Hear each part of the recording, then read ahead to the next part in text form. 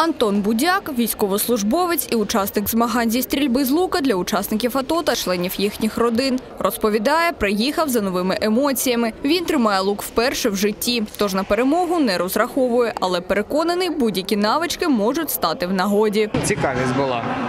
Спробувати. Спробувати вперше. Ну, мені сподобалось. Захоплюючі враження. Разом з Антоном участь в змаганнях бере його дружина Олена. Вона зараз у декретній відпустці, тому одразу пристала на пропозицію чоловіка поїхати постріляти та відволіктися від буденних турбот. Каже, їй до душі спонтанність та щось новеньке. Ці змагання стали для Олени, так би мовити, пробою лука. Але жінка вже вирішила запижиться в секцію і тренуватиметься. Було дуже цікаво зовсім брати до рук е, лука.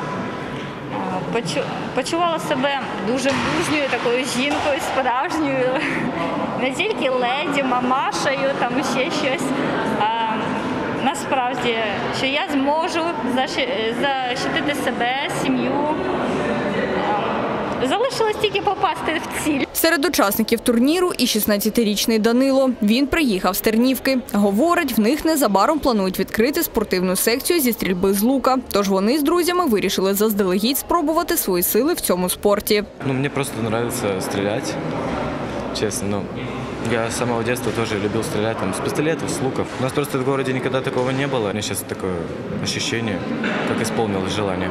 Змагання зі стрільби з лука для атовців організували Центр допомоги учасникам АТО та Асоціація адаптивної стрільби з лука. Організатори говорять, ці турніри – можливість родинам побути разом та відпочити. А ще це та реабілітація спортом, що так потрібна захисникам. Дев'ятьох кращих лучників визначили в трьох номінаціях. У нас було три категорії: це чоловіки, власно, учасники АТО, воїни, ветерани. Це жінки і діти. Категорії чоловіків було 10 учасників сьогодні.